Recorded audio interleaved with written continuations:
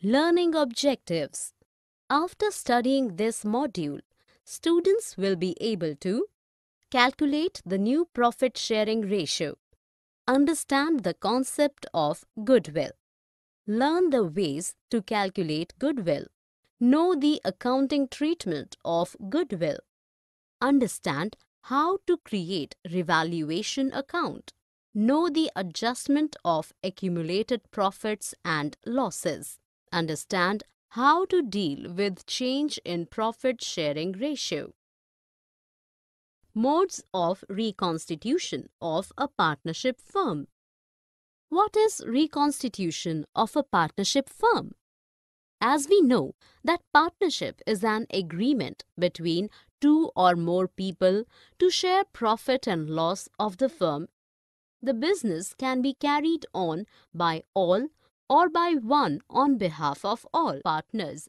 Any change in the already made agreement results in the reconstitution of the firm. The result is the end of the existing agreement and a new agreement comes into existence with the change in the relationship of the partners of the partnership firm and their composition. The reconstitution happens due to the following reasons like admission of a partner, death of a partner, change in profit sharing ratio, a partner becomes insolvent or retirement of a partner, etc. Modes of reconstitution of a firm. The reconstitution of the firm happens in many ways. Admission of a new partner.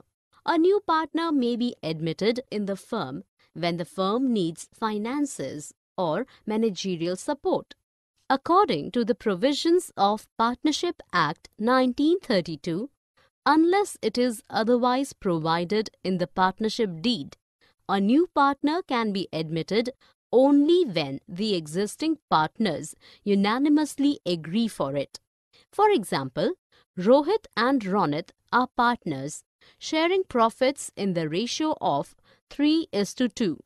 On April 1, 2007, they admitted Anil as a new partner with 1 by 6 share in profits of the firm. With this change, now there are three partners of the firm and it stand reconstituted. Changes in the profit sharing ratio. Change in the profit sharing ratio among existing partners. At times, partners of a firm decide to change the profit sharing ratio between them. Let us understand with this example. Rajiv, Sanjeev and Manish are partners in a firm sharing profits in the ratio of 3 is to 2 is to 1. With effect from April 1, 2007, they decide to share profits equally as Manish brings in additional capital.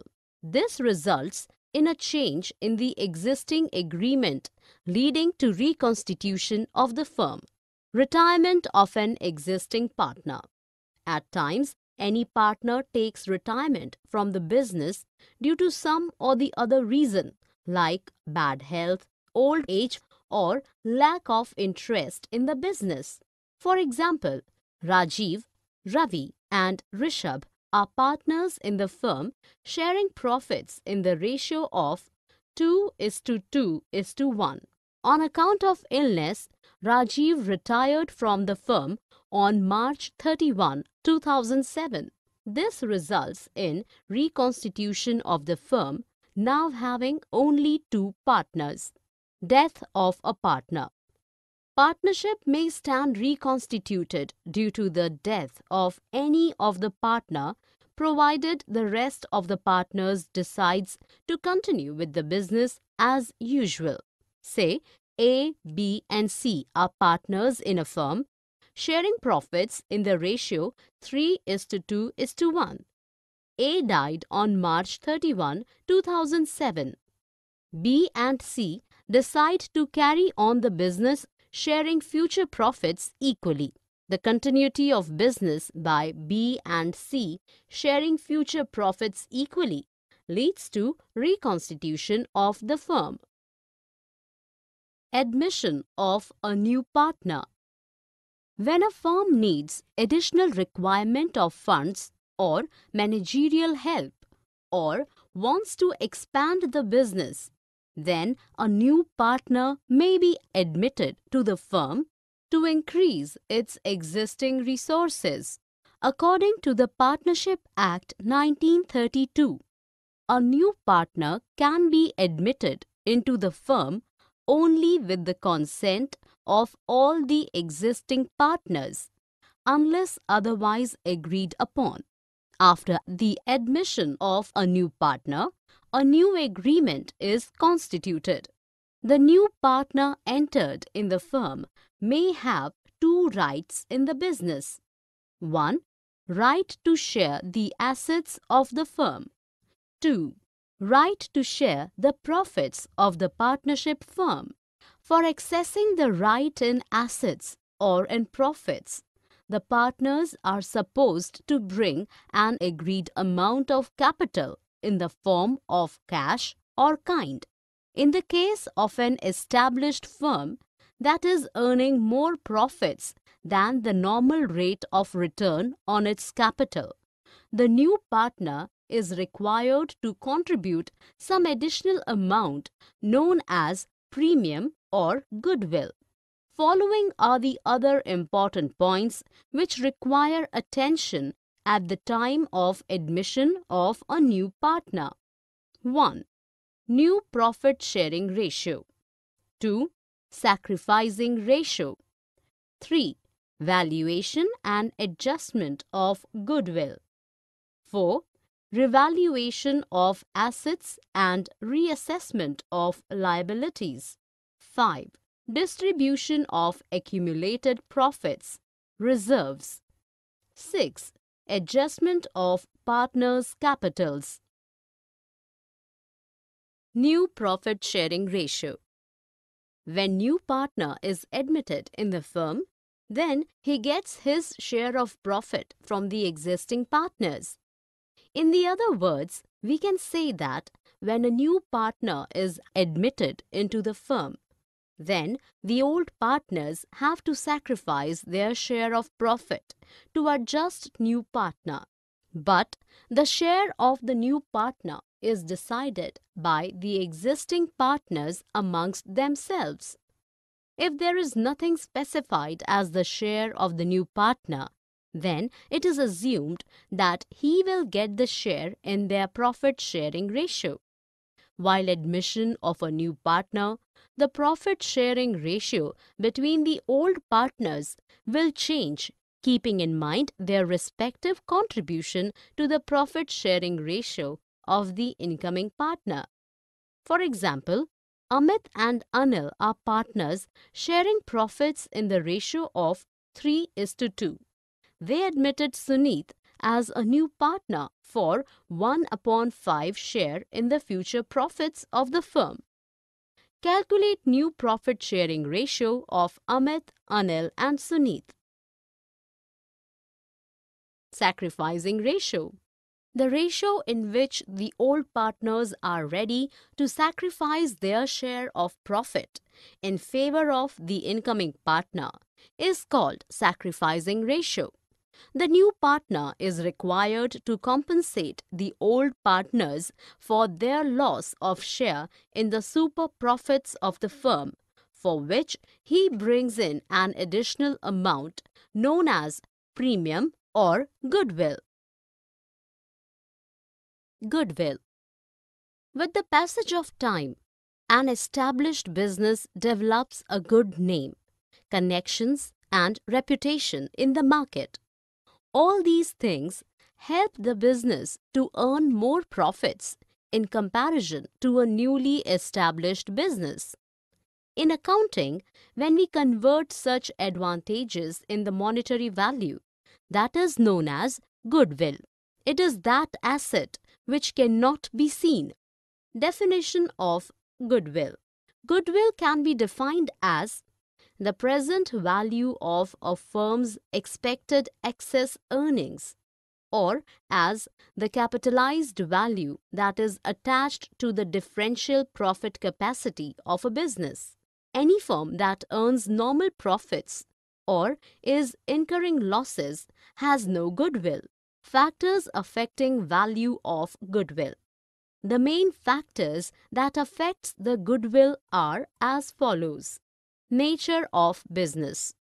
A firm that manufactures high value products or having a stable demand can earn more profits and therefore has more goodwill. Location. If the business is centrally located or is at a place having many customers, the goodwill tends to be high. Efficiency in management. A well established concern enjoys the benefit of high productivity and cost efficiency. This leads to higher profits, high goodwill. Market situation. The monopoly condition or limited competition helps an organization to earn higher profits and higher goodwill. Special advantages. The firm that has special facilities like import licenses, long-term contracts for supply of materials, well-known collaborators, patents, trademarks, etc. enjoy higher value of goodwill. Need for valuation of goodwill. Generally, we need to do the valuation of goodwill at the time of selling the business. But in the partnership concerns, the need for valuation of goodwill arises due to following reasons. Change in the profit sharing ratio amongst partners, retirement of a partner, admission of a new partner, death of a partner, amalgamation of partnership firm, dissolution of a firm involving sale of business, Methods of valuation of goodwill. As goodwill is an asset that cannot be seen, so it is difficult to calculate its exact value. There are various methods to calculate the goodwill. Average profits method, super profits method, capitalization method, average profits method. Average profits method is based on the assumption that a new business will not be able to earn any profits during the first few years of its operations. Hence, if a person purchases a running business, must pay a sum which is equal to the profits he is likely to receive for the first few years as goodwill. The goodwill, therefore, should be calculated by multiplying the past average profits by the number of years during which the anticipated profits are expected to accrue. For example, if the past average profits of a business works out at rupees 30,000 and it is expected that such profits are likely to continue for another 3 years, the value of goodwill will be 90,000 rupees. Rupees 30,000 multiplied by 3 Super profit method. We have assumed earlier that in the initial years, a business does not earn profits through operations. Hence, the person who purchases the existing business has to pay in the form of goodwill a sum equal to his total profits which he is likely to receive for the first few years. But it is observed that the buyer's real benefit does not lie in total profits it is limited to such amounts of profits which are in excess of the normal profit on capital employed in the same business. The excess of actual return over the normal profits is termed as super profits. For example, an existing firm earns 20,000 rupees on the capital of 1,80,000 rupees and the normal rate of return is 10%. The normal profits will be calculated as 18,000 rupees. 1,80,000 multiplied by 10 upon 100. The super profits will be rupees 2000. Rupees 20,000 minus 18,000. The goodwill under the super profit method is calculated by multiplying the super profits by certain number of years of purchase. If, in the above example, it is expected that the benefit of super profits is likely to be available for 5 years in future. The goodwill will be valued at Capitalization methods. Using this method, goodwill can be calculated by two ways. By capitalizing average profits. By capitalizing super profits. Capitalization of average profits. Using this method, the value of goodwill is calculated by deducting the net assets in the business from the capitalized value of the average profits on the basis of normal rate of return. This involves the following steps. 1. Find the average profits based on the past few years' performance. 2. Capitalize the average profits on the basis of the normal rate of return like this. 3. Find out the net assets by deducting the outside liabilities from total assets. 4. Calculate the goodwill by deducting net assets from the capitalized average profits. Premium method. When a new partner gives his share of goodwill in cash, then we follow premium method. This amount is shared by partners in their sacrificing ratio. If this amount is paid to the old partners directly by new partner, then no entry is being done in the books of accounts. But when the amount is paid through partnership firm, then the following entries are being done. The alternative method is to credit this amount to the new partner's capital account and then adjust it in favor of the existing partners in their sacrificing ratio. If the partners decide to retain the amount of premium in the business itself, then there is no need to pass any additional entry. If they decide to withdraw their amounts fully or partially, the following additional entry will be passed. Revaluation method. Revaluation method of goodwill. This method of valuation of goodwill is used when the new partner does not bring his share of goodwill in cash. In such a condition, books of accounts are increased in the accounting books by crediting the old partners in the old profit sharing ratio. When goodwill account is to be handled in the books of account, there may be two situations to handle. No goodwill appears in the books of account when a new partner enters the business. Goodwill is already there in the books of accounts. When no goodwill exists in the books of accounts when there is no goodwill in the books of accounts at the time of admission of a new partner. Then the goodwill account is created with its full amount of goodwill. The journal entry would be Goodwill account debit to old partner's capital account when goodwill already exists in the books of accounts.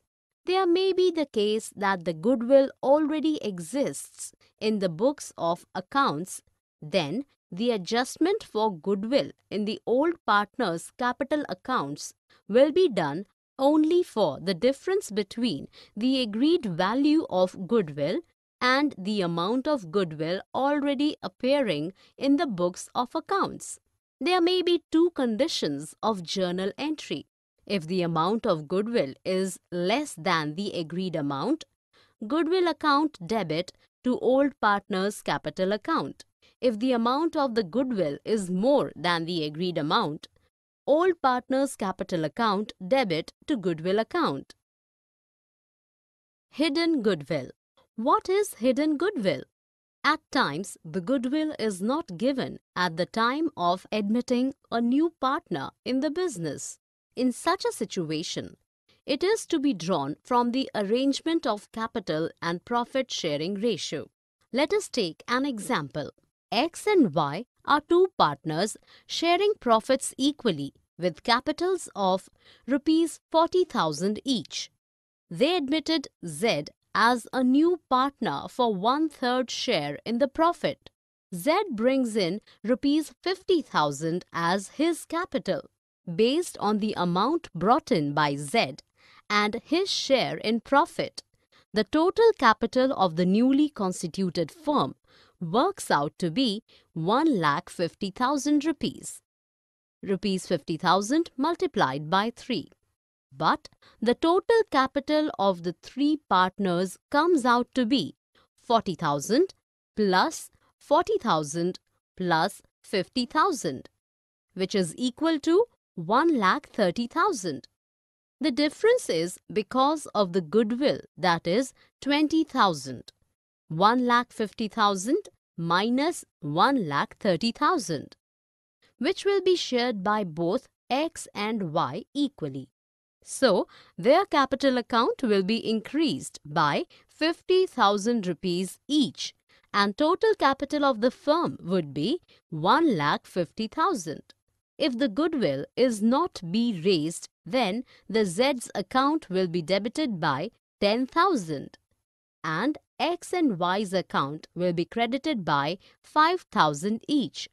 So, the capital of the firm remains same that is 40,000. Accumulated profits and losses. Adjustment for accumulated profits and losses. At times, a firm can have accumulated profits which are not transferred to capital accounts of the partners. These are usually in the form of general reserve, reserve fund or profit and loss account balance. The new partner has no right on any share in such accumulated profits. These are divided among the existing partners by transferring it to their capital accounts in old profit sharing ratio.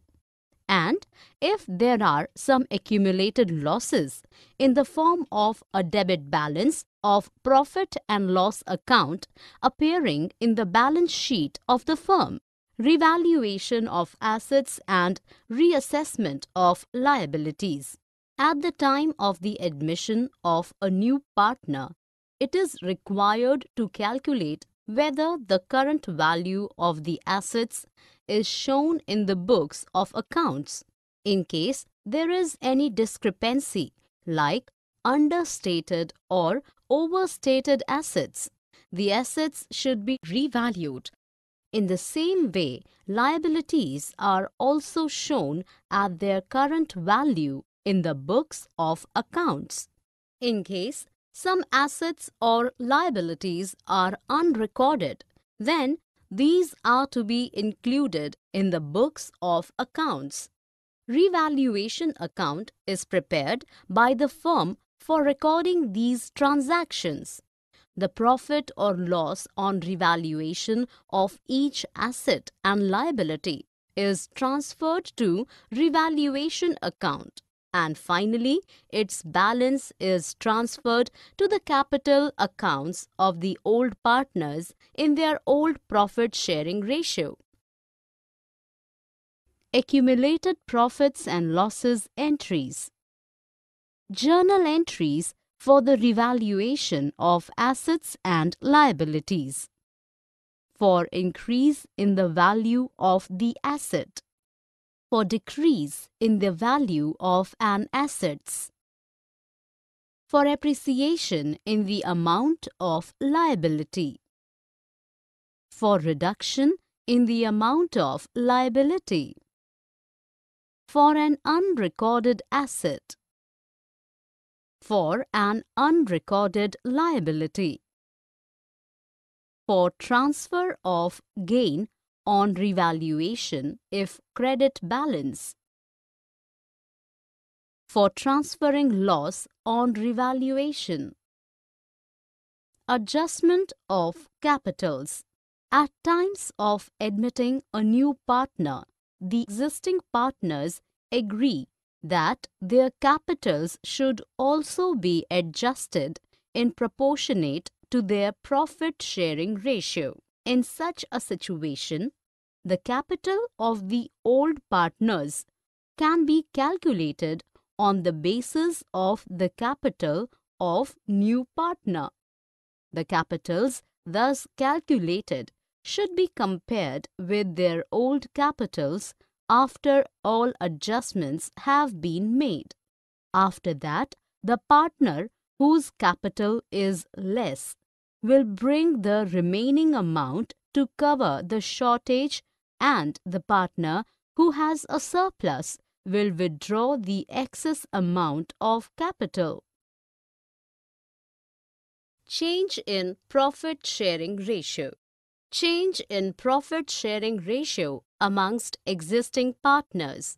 Sometimes the existing partners of a firm decide to change their already decided profit sharing ratio without any admission or retirement of a partner.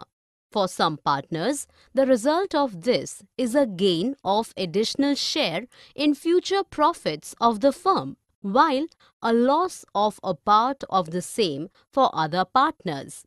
For example, X, Y, and Z were partners in a firm sharing profits in the ratios of 8 is to 5 is to 3. It is felt that X will no more be able to actively participate in the affairs of the firm.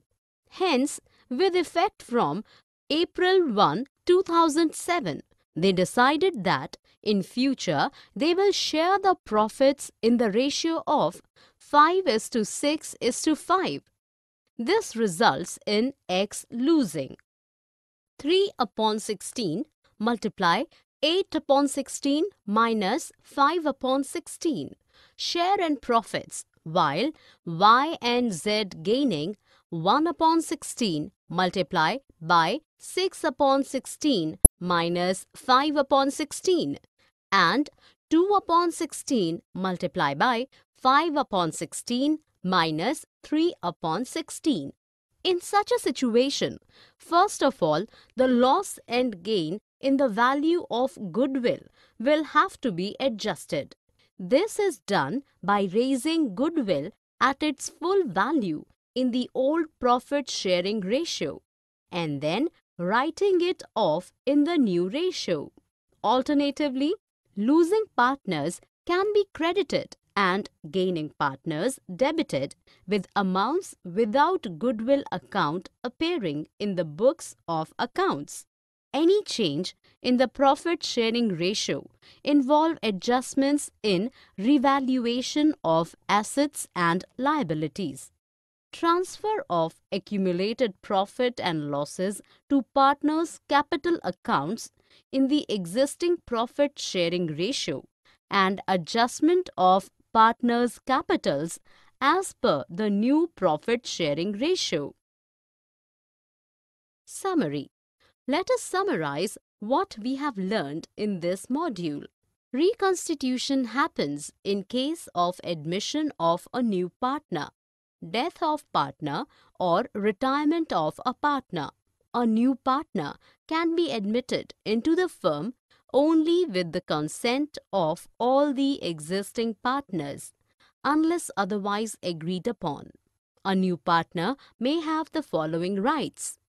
Right to share the assets of the firm. Right to share the profits of the partnership firm. The ratio in which the old partners are ready to sacrifice their share of profit in favor of the incoming partner is called sacrificing ratio. When we convert such advantages like reputation, connections, and names in the monetary value, known as goodwill, it is unseen asset. Generally, we need to do the valuation of goodwill at the time of selling the business. Three methods of calculating goodwill are average profit method, super profit method, and capitalization method. Revaluation method of valuation of goodwill is used when the new partner does not bring his share of goodwill in cash.